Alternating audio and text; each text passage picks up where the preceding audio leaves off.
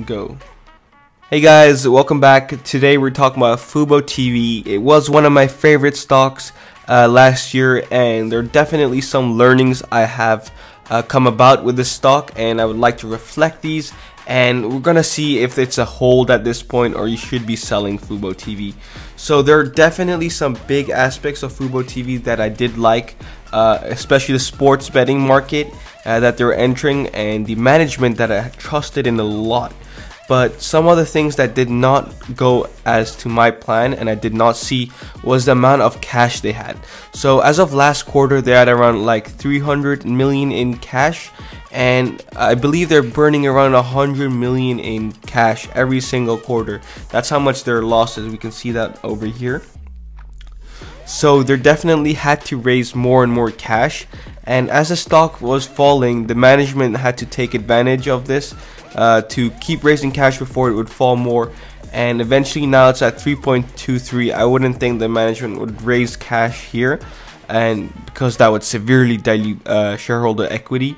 But uh, it was definitely a drastic fall we could see from $34 um, back in November to all the way to $3 in uh, April. So that's not a happy move, but there are so many other opportunities in the market as well because of falls like these. Fubo TV is one of them. It's one of the bigger ones I've seen because people do not want to be owning uh, growth stocks and loss-making companies.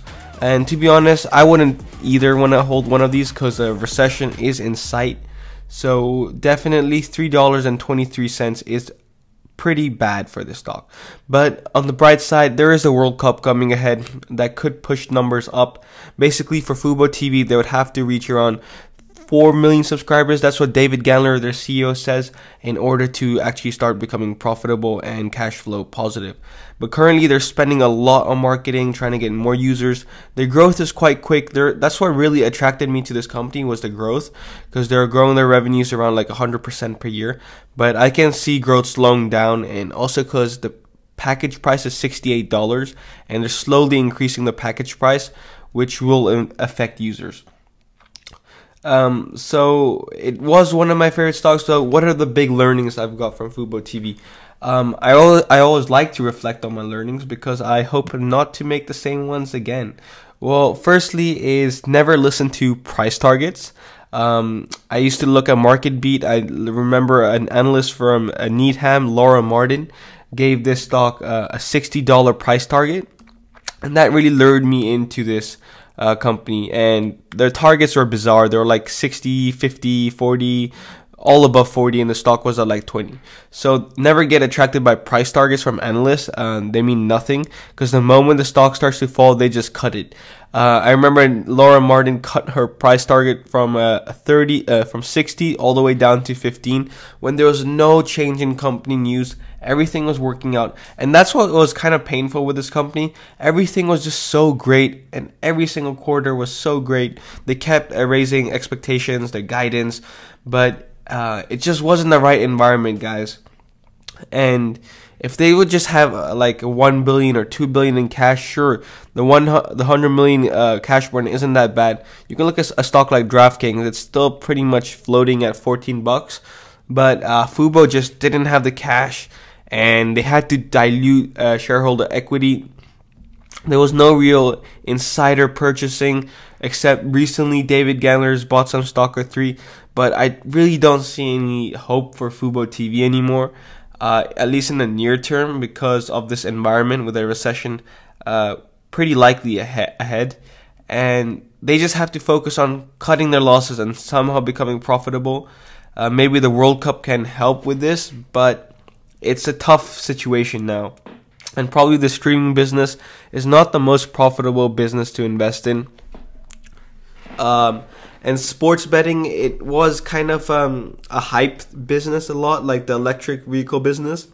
So all the stocks were running up higher for for those reasons. And to be honest it's not really a sports betting company. The users are not like DraftKings and stuff and they're not promoting it like that either. So we're gonna see how um, things work out but things are looking tough for Fubo TV um, I wish if I was buying more here but I would like to wait some time and see what the management has to say and even if the stock goes up to 10, you could still buy it at 10 if things are working out. But currently, things are not working out uh, as per expectations. And here's one of those those examples of um, buying the dip. Like if you keep buying the dip, you at the end could lose it all. Like you have to try invest in a company that would not go to zero. That's what really really matters. And to be honest, there are other ones, uh, growth companies that I do prefer. I like SoFi and SoFi's management as well.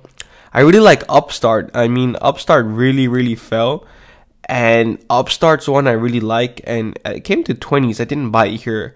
Uh, I think I bought Upstart at the 80s level, but wow, this one was at 400. So the falls have been pretty huge. I've not been buying into NIO. I did buy one share of Tesla. Wish I've not been buying. These are just some of the stocks I have in this watch list here. Bumble I sold because wow, Bumble's been holding up pretty well. Um, some of uh, Square not holding too much. I sold some at the 140 level. I uh, haven't bought any here. Uh, is this American Eagle? Yes, I bought some American Eagle down over here.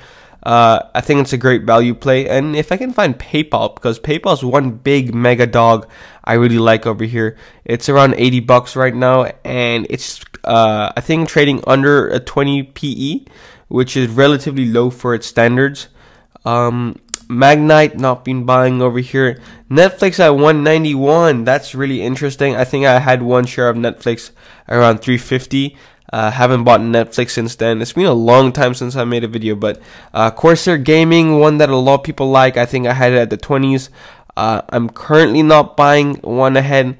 Look, it all depends on these interest rates going up, and it's probably better to wait for those interest rates to rise and see the effect on the economy and uh, I think it's probably going to be a very small recession ahead.